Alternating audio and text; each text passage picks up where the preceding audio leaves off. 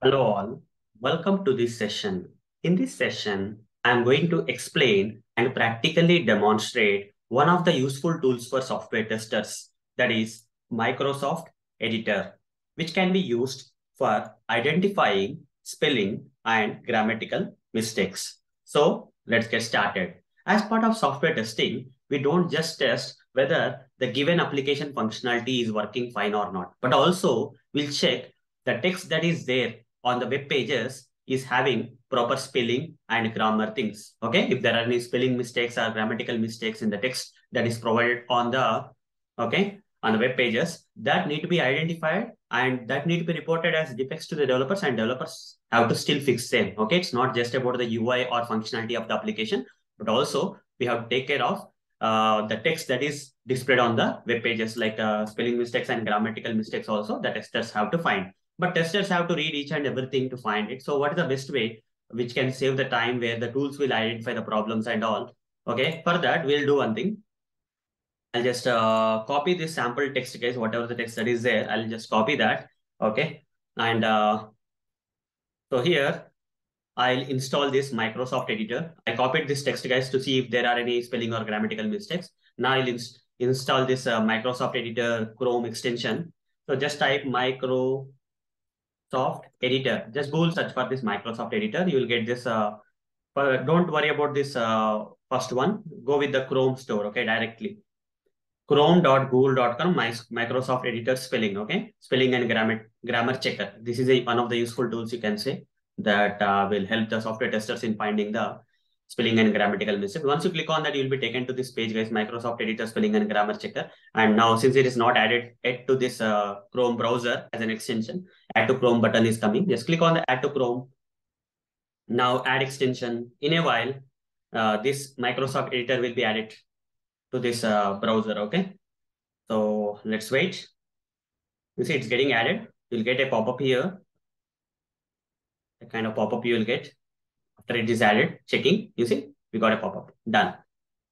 So it's asking you to sign in, okay? It's asking you to sign in, guys, trying to sign in. So what you can do is already have created an account, guys, okay? If you don't have an account with Microsoft, create one and try to sign in, guys. Since I already have created, I don't want to waste time. I just sign in using this account, okay?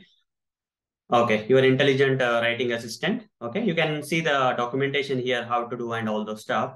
So what I'll try to do here is I'll close all this stuff and uh, click on this uh, extensions and pin it so that you can directly access this Microsoft editor here. Now close this browser and restart the browser once. Just restart the browser once, guys, okay, so that it will be good. Now here, go to one application and uh, paste the text that I copied. Okay.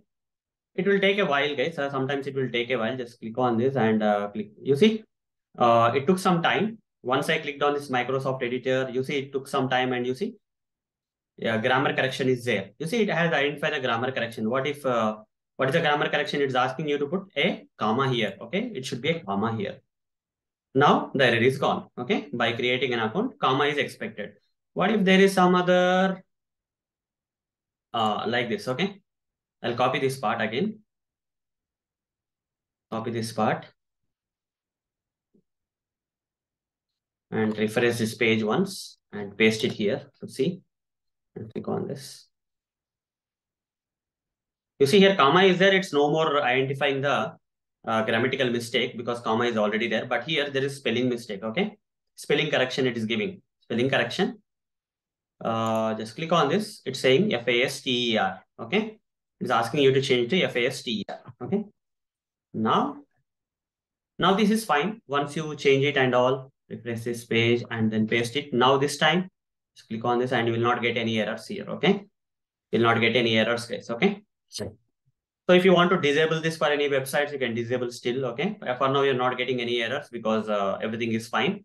So this is how, guys, we have to use this uh, Microsoft uh, Editor uh, extension, okay? Or add-on.